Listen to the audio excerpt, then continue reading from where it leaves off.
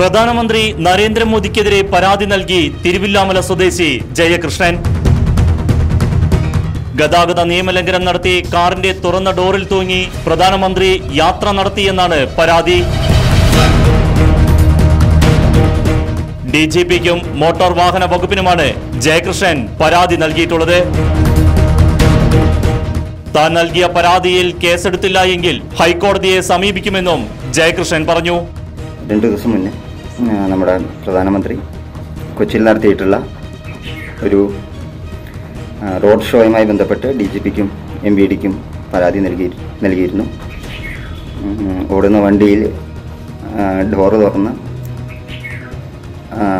സ്റ്റെപ്പിൽ കയറി നിന്ന് അണികളെ അഭിവാദ്യം ചെയ്യുകയും അതുപോലെ തന്നെ ഡ്രൈവറുടെ യാത്ര ശ്രദ്ധയ്ക്ക് മറയ്ക്കും വിധം ഡ്രൈവറുടെ ശ്രദ്ധ മറയ്ക്കും വിധം പൂക്കളെല്ലാം ഗ്ലാസിൽ വെതറിയിട്ടാണ് ആ യാത്ര ഉണ്ടായിരുന്നത്.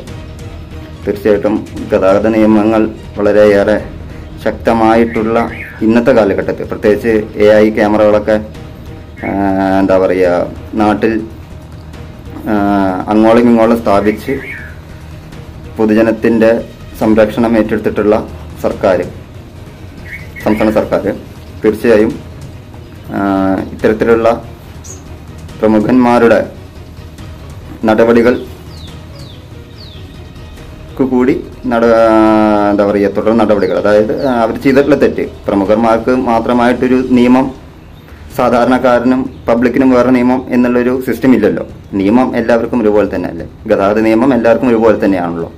ആ നിയമ ലംഘനത്തിനെതിരെ മാതൃകാപരമായിട്ടുള്ള നടപടി സ്വീകരിക്കണമെന്ന് അഭ്യർത്ഥിച്ചുകൊണ്ടാണ് ഡി ജി പിക്കും അതുപോലെ തന്നെ മോട്ടോർ വാഹന വകുപ്പിനും പരാതി നൽകിയിട്ടുള്ളത്.